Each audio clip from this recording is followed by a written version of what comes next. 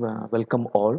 Uh, today in our course Fluid Mechanics and Pneumatics uh, of the particular course uh, we have manometric computations. It is included in your module 1 content and uh, in a stepwise manner if you are uh, following our class and if you are utilizing the points being discussed then you will be able to do uh, numerical questions based on manometric computations. Uh, in our mechanical engineering three-year diploma uh, in this fluid mechanics and pneumatic course this particular question is of uh, slight difficulty because uh, figure will not be there. The sketch of manometric arrangement will not be there. So you have to read the question and use your skill to make the sketch of manometric arrangement. Then it's simple. You can write a manometric equation for the given setup and you need to substitute the parameters and you will be getting the answer in SI unit so if you are finding pressure uh, your answer is going to be in Pascal. So let us see what's our plan for today. Uh, today uh, we will uh, see the manometric equations of uh, simple manometers. Already in the previous video we had seen this in detailed manner but still the person who not seen that video we will be seeing how to write manometric equations for a simple manometer. Then manometric equations for a differential manometer setup and we will do five numerical questions. Uh, first let us see manometric equation for a piezometer. We all know piezometer is example of simple manometer. If you want to measure pressure at a section it is called a simple manometer. If you are measuring pressure difference between two flow sections then it is differential manometer. Uh, our piezometer is a simple manometer. It's a tube which is inserted in your pipeline. So depending on the static pressure available at particular flow section in which that uh, piezometer that tube is connected uh, it will have it will help us to measure the pressure at that particular section suppose we are naming that section as section 1 then from the center line depending on the static pressure of the flow uh, there will be fluid rise. The flowing fluid itself will be rising to up to a height up to a particular height. And uh, this will help you to say the gauge pressure at section 1 is exactly rho gh very simple. Uh, there is no other effort required. Simply gauge pressure at section 1 will be rho gh where rho is mass density of flowing fluid in kilogram per meter cube. G acceleration due to gravity. We are using the value 9.81 meter per second square. H h is this static head. The head available in the piezometer which is measured with respect to the center line of the flow. It's a simple thing. If you are looking at a two piezometer arrangement. It will be an example of a differential manometer. Two sections a and b in which two identical piezometers are uh, fitted. Now uh, static pressure at a is more static pressure at b is less. So what will happen? Uh, in piezometer uh, your flowing fluid will rise up to certain height uh, and uh, with respect to the center line uh, there will be a static head at first piezometer and uh, there will be a lesser static head on your second piezometer. So in this case we can say that the difference between pressures at a and b in a manometric setup we are uh, measuring gauge pressures and uh, pa minus pb in gauge pressure term will be exactly rho g h1 minus h2 so please see this will be your h1 static pressure head available at uh, first manometer will be h1 and this will be your h2 so this value will help you to get uh, the difference between uh, pressure at section A and section B. Now uh, let us see another case where we are uh, going for much uh, different arrangement that is a U-tube setup and uh, mostly in our laboratory scenario we will be seeing such setup for pressure measurement if you are using a U-tube, U-tube will be a simple U-shaped tube. We all know it will be having a manometric liquid in it and that liquid will help us to sense the pressure. If you are connecting a U-tube like this on a flow section, other limb, uh, we call it as limb, other limb is uh, open to atmosphere.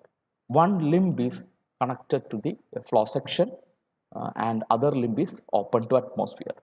And in this case uh, in such cases like this will be your uh, numerical question in which uh, you need to solve it and uh, we are following a uniform method for every U-tube setup whether it is a simple uh, U-tube manometer like this figure or it's a differential U-tube setup uh, which is having inverted arrangement or which is sensing vacuum pressure. Whatever be the scenario whatever be the uh, condition uh, just follow this simple procedure. Write a manometric equation for this setup you have to follow some stepwise step points first point start with any location like we are selecting location 4 let us start with that location and write the gauge pressure at that location P4 is the gauge pressure at that location. We are writing it. So start at any static pressure location, write the gauge pressure at that location. Then um, move to next fluid. Point number two, move to next fluid. Like water is flowing through the pipe, your U-tube is connected here. Uh, the, the, you, you can find next fluid at this section because from here you are having a manometric liquid uh, this much part of the U-tube is occupied by your manometric liquid. So from section 4 you are moving in downward direction up to uh, this particular section. 3. No, you covered a column pressure. So point number 2 was uh, move to next fluid. And uh, depending on the uh, column pressure uh, you can write that particular column pressure. Like you now you have uh, moved from 4 to 3 in downward manner. Okay so you covered a column pressure. Column pressure is rho gh okay here uh, rho means uh, a rho of water. G okay obviously g. H rho g h is the uh, nominal idea of column pressure. Rho g h. Okay obviously uh, in uh, the particular fluid you have to put the particular fluid density. H value will be dif uh, different. Depending on the column height available you will be having the h value and in this case that h value is indicated as l. In the, figure it's given like this. L. So you have a column pressure. While you moved from section 4 to 3 you have a column pressure. Now when you are moving in point number 3 when you are moving in downward direction that column pressure to be assigned with positive sign. Like from 4 to 3 you moved in downward direction so that column pressure should have a prefix plus. Gone. Now let us see the next thing. From so now we are at section 3 from here we are again going to next fluid. We are finding next fluid at section 1 because uh, this limb is open to atmosphere. There you will be having atmospheric air. So you are meeting the next fluid so in this case what happened? Actually from this horizontal level you moved up to this horizontal level. Movement is upward. Like from this horizontal level to this horizontal level you moved through a height hm Okay, now let us write the column pressure. This is a column of manometric fluid. Its density whatever be the density we are representing manometric fluid density as rho m rho g h. In this case that column height is uh, represented as hm now uh, please see this please see this particular arrangement. Okay uh, in this case we have written the column pressure. Now, uh, what should be the sign? Uh, in point number two we have seen if you are moving in downward direction while covering that uh, column pressure then you will be having positive side. But here the you moved from section 3 to 1 or from horizontal plane 3 2 to 1 in an upward manner. So that column pressure will be having minus sign. No last point point number 4 you reached at the last static pressure level. In uh, cases like this in this simple manometric setup the last pressure the pressure available at section 1 is uh, local atmospheric pressure. We are writing the equation for gauge pressure. So you just put an equal to sign and you write 0 so we are repeating the uh, four points. Start from any section write the static pressure at that section. Then move to next fluid that is the point number 2 if you are moving in downward direction uh, you will be having a positive column pressure right there. Like from moving from 4 to 3 you put a positive column pressure plus rho water gl if you are moving in uh, upward manner from, for meeting the next fluid then obviously it will be uh, minus column pressure. That's it. Then uh, the last point. While uh, you reach the last static pressure section it can be a pressure pb or it can be an open uh, space. If it's open sp space just like this you will write equal to 0 so uh, this is our uh, method of writing uh, manometric equation. If you follow this properly you will be able to uh, do all the questions. Just follow those uh, necessary points. Okay start with the section write the manometer uh, static pressure at that section move to next fluid uh, then uh, write the column pressure. And if your movement was in downward manner give a positive side if you moved in an upward manner give a, negative side now uh, the last thing. Uh, when you are reaching the last pressure section like in this case it's open to atmosphere and you, you can write equal to zero. So that is your uh, way of writing the manometric equation. Now let us try this equation uh, for a differential manometric setup a normal type of differential uh, manometer normal u uh, it's called uh, upright arrangement normal u. In this case let us see what is the starting point. We can write from a. You can write first pa gauge pressure at a. And from there we are moving pressure at section a you wrote, wrote pa g. No uh, from this location you are going to find the next fluid. So here you will be having next fluid because here the manometric fluid is there. So you have a column pressure. Rho a g h1 particular density g into particular column height. No you moved in downward manner is it? So your sign should be positive. Your sign sign should be positive. No you are here. No again uh, you are finding next fluid here. So effectively from this horizontal plane you are moving in upward manner to meet the next fluid. So there will be a column pressure corresponding to column height h2 that column pressure is uh, rho m because this is manometric fluid. Its density is given to be rho m rho m g h2 no uh, we moved in upward manner is it? So the sign is minus. So column pressure with proper sign no you are again moving. Uh, no, no you reach the last section. Nothing else is there. Uh, no no more further fluids. So here also uh, you covered a column height is it? A column pressure. What is the density of that fluid? Rho B. Rho B GH3. Rho B GH3. Now you please see this. Uh, you moved in uh, again upward direction. So that sign is minus and you represented here. Now uh, in earlier part that limb was open to atmosphere and you put equal to uh, 0. But here uh, it's not open to atmosphere. At that final horizontal plane, you have a pressure PB. So that's it. You have represented the correct manometric equation.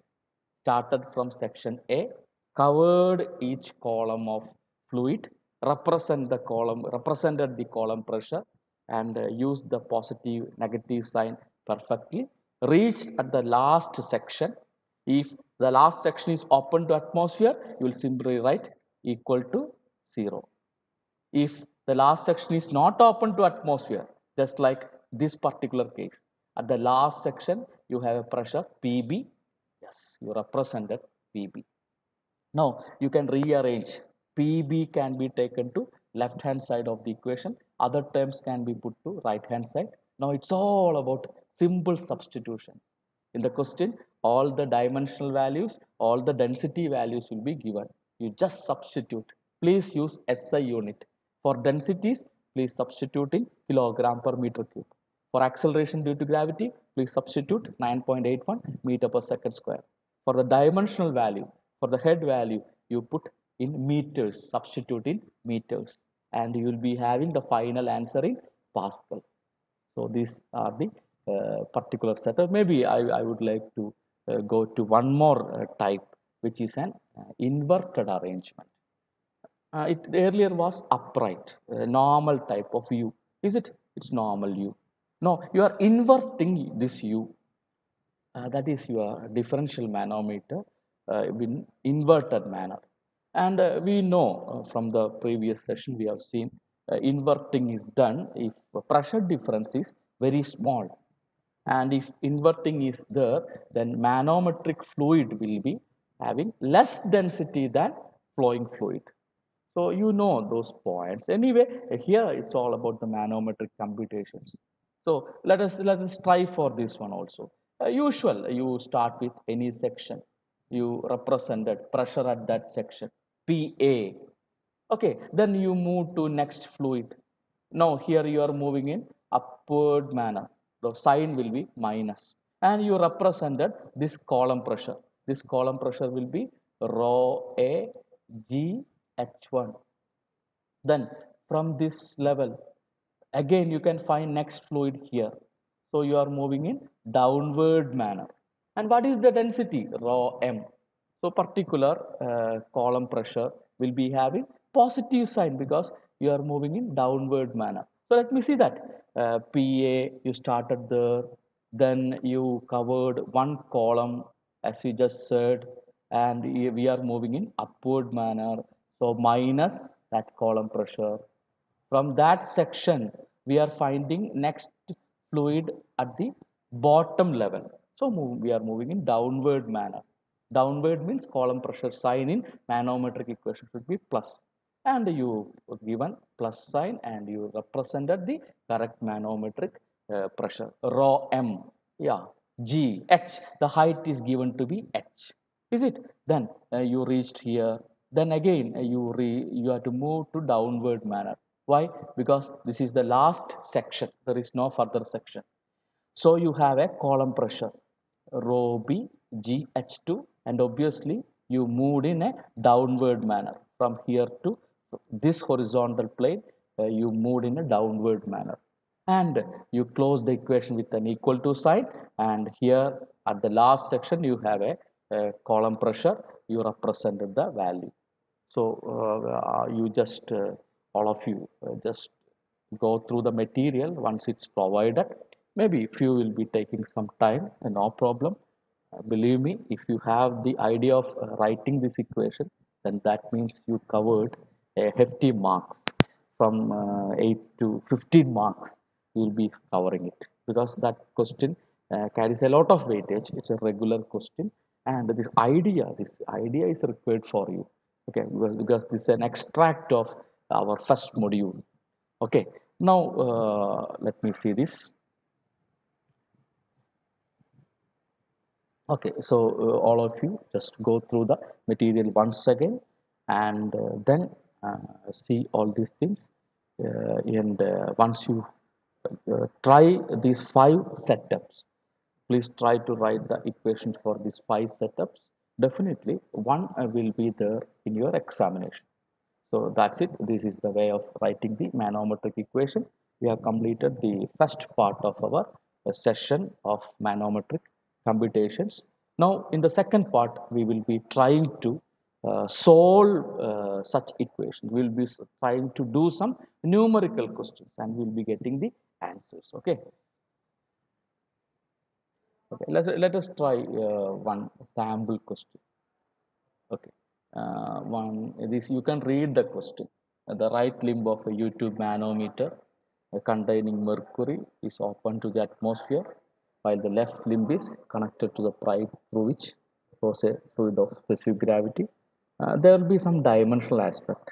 So please uh, pause this uh, screen and please try to draw the figure maybe uh, after trying uh, two questions or three questions then your figure will be perfect. So the only challenge is you have to uh, exercise your skill here to draw the schematic of the manometric arrangement. Anyway uh, as our time is limited uh, we we are seeing uh, the direct setup. I made this setup and i have the drawing with me and this is the drawing so you can see the matters are confirming to this. The center of the pipe lie 15 centimeter below, below the level of mercury in the right limb. So uh, just believe me, one or two questions you have to put some time. Then automatically you will be having the idea of how to draw it. Okay, uh, so that is the only uh, skill that you have to exhibit here. Once you have this setup, uh, then you can solve it here they are asking you to uh, find the difference of uh, determine the pressure of the fluid in the pipe. You have to get the pressure of the fluid. Okay you can do that. Uh, first thing you make the drawing. You make the schematic of the manometric setup. Then second thing like the normal numerical question we will list out the parameters one by one. Flowing fluid density is given to be 0.85 we know if density is there uh, if uh, sorry flowing fluid specific gravity is given 0.85 okay. So density can be obtained from specific gravity because specific gravity into density of water will be the density of fluid. So that idea all we have. Uh, so by using that uh, 0.85 with the specific gravity into 1000 will be 850 kilogram per meter cube. So this is the uh, procedure that we are following. No, uh, another parameter that we are naming the first height, one height as h1. Let this 15 centimeter. h1 has to be substituted in meter. So uh, we are putting that in uh, meters, 0.15 meter. One more dimensional value is the h2, that is 0.25 meters. Uh, and we have to determine fluid pressure at that particular section we are naming the section as section 1 so we have to get p1 pressure at section 1 Uh, so this is the task. So once you have the setup what to be done next? Just write a manometric equation. Uh, let's uh, let's do that. We have the setup we have certain given parameters. Uh, maybe uh, they mentioned the manometric liquid to be mercury. Density of mercury also is known to us it is 13.6 into 1000 uh, then uh, the given parameters are listed by us and we have to get the section 1 pressure. And here they are asking for many units. Nothing is there. You just find the section pressure in pascal. We will do the conversion. There is nothing. Okay. Anyway uh, let us write the manometric equation. Please pause this uh, video and you please try to write the manometric equation by yourself. Start with the section 1 uh, represent the pressure at that section. From that horizontal plane move to next horizontal plane where fluid is there. And uh, you put the column pressure particular density value into g into particular column height. If your your movement is in downward direction you put positive sign for that column pressure. And you go to the next fluid and put every column pressure with proper sign and in this case uh, the last section will be open to atmosphere. So when you are reaching that section you can write equal to 0 then you can solve it. I request all you to write this one by pausing the video. And anyway uh, this is the idea. P1 uh, pressure at section 1 uh, it's a gauge pressure. Uh, we are writing the manometric equations for gauge pressures. So we have P1 this is the section 1 pressure P1 in gauge. Then uh, this is the first part. Now you are moving in downward manner. You covered a column height. That height is given to be x. Okay so rho f g x. And you put the positive sign because you moved in the downward manner. From this horizontal plane to next horizontal plane where you can next fluid. From here it's atmospheric air you are moving in upward manner. So you put minus sign and represented the column pressure. That is a manometric fluid. Its density g into particular column height. You reached here. That means you have to close the equation with equal to 0 so very simple. And from this you can find the gauge pressure. You just keep the gauge pressure at the left hand side. You put the other uh, para, other uh, components to right hand side. So from here if you are shifting it, it will be minus rho f gx plus rho f gh2 now you know the rho f value you know the g value uh, you must know the x value. From the dimensional aspect you can say x will be 10 centimeter because uh, the total height is 25 uh, there is 15 centimeter remaining should be the x value 10 centimeter. But please remember you have to substitute in SI unit. X uh, 10 centimeter is the value. You have to convert that into meters. 0.10 meters. And the h2 value is there. Everything is there. You just substitute and you get the value 32520 pascal. So that is the uh, our answer.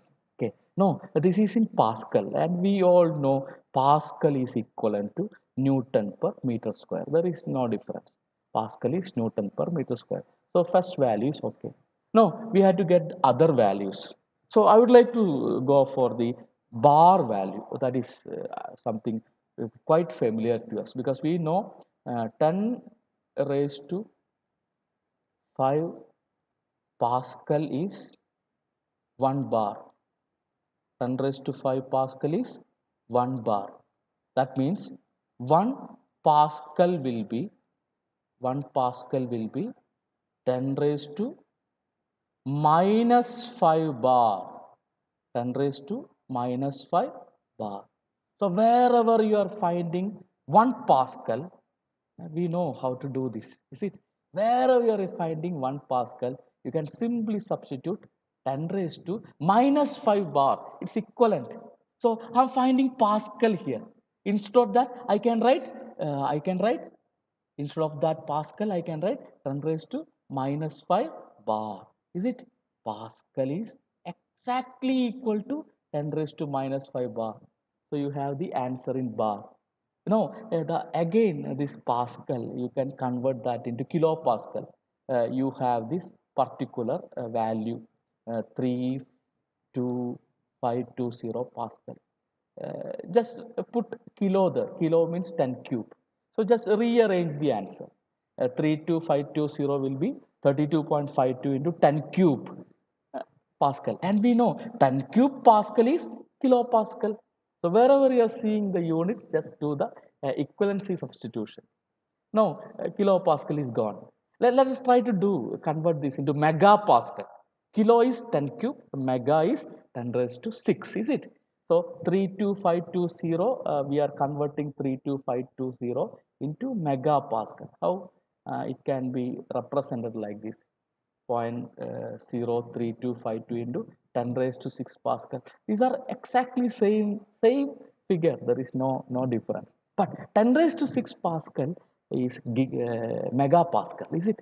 Megapascal. So in instead of 10 raised to 6 Pascal, you can write the equivalent value. Unit conversion is very simple. You just substitute the equivalent value. And you know, 1 megapascal is uh, 1 Newton per millimeter square. In your strength of materials, you will be seeing this quite often. 1 megapascal equal to 1 Newton per millimeter square. So instead of megapascal, you can simply substitute Newton per millimeter square. That's it. Uh, the unit conversion is nothing. You just substitute the equivalent values. Okay. So you got the answer in all the required uh, values. And I think this was a, a 15 mark question in a particular old paper. Now let us see another question. Another question, our last question, one sample question. Uh, in this case, uh, they are talking about a simple U-tube manometer connected to a pipe. So please pause this video and please draw the particular uh, figure schematic you have to draw okay and uh, after drawing uh, you can note down the given parameters see what is to be determined. And using the proper drawing you write the manometric equation and uh, put the given factors in SI units and get the final answer in Pascal. Okay, uh, maybe uh, this is the particular figure. And uh, uh, from here uh, you can list out the given parameters nothing else. Uh, and uh, you have to see you have to calculate the vacuum pressure at section 1 okay. So, our time is quite limited. That's why i'm, moving slightly faster manner. But you can pause the video and you can do the calculation by yourself. And uh, this is our question where we have to find the vacuum pressure at section 1 a vacuum or uh, gauge v does not matter. If you are getting the final answer in minus uh, some value it will be a vacuum pressure. It's an automatic thing we just uh, started with section 1 and uh, represented the gauge pressure or vacuum pressure that's section 1 and uh, then uh, covered each column pressure with proper sign and at last the final section is open to atmosphere. We close the equation with 0 and from here you can uh, substitute the given factors and you can get the answer.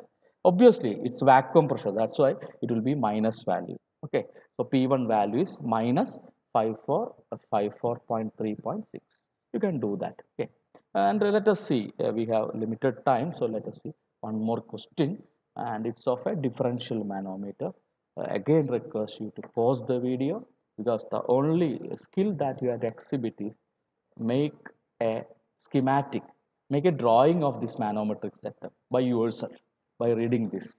And if you are doing that practice for two or three questions then you will be perfectly drawing the manometric setup then it's all about very simple numerical approach if you have the schematic just list out the details write the manometric equation substitute the given parameters in SI unit and uh, get the answer final answer in SI unit. That's it. So pause the video, make a drawing and uh, then uh, find the answer by yourself. Anyway, uh, this is going to be the setup uh, and uh, list out the given factors. You can list out the factors and we have to get the differential pressure. This is a differential manometer. PA minus PB. Obviously, it will be on gauge pressure terms. Okay, then uh, obviously you can write the manometric equation similar equation we have represented uh, maybe only one point will be there while writing the equation somewhere that x will be coming. And uh, you know how to get that x by dimensional uh, just checking these dimensions you will be able to get x because h2 h1 hm all details are there.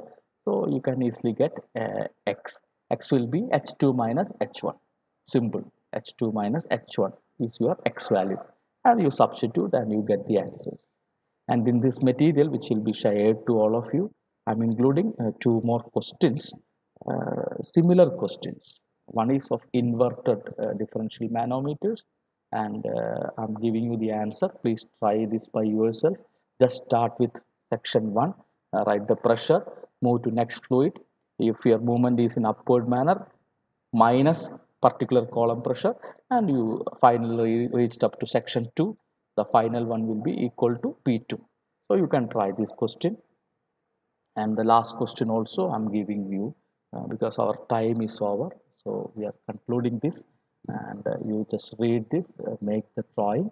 Uh, this is quite similar to question number three. Only thing is that instead of uh, differential pressure they are asking uh, for the difference in mercury level. They are asking for the manometric head. So, so equation is exactly same. Only thing is that pressures are given. You have to get the HM value, manometric head. So uh, you can try that also. And if you have uh, tried these five questions in a proper manner, that means uh, you got the manometric computations perfectly. Okay. So we have seen manometric equations of simple manometers, manometric equations of uh, differential manometers, and we have done uh, three numerical questions and we have provided you two questions to work with. Okay. So that's it. Uh, let's conclude and uh, thank you. Thank you to all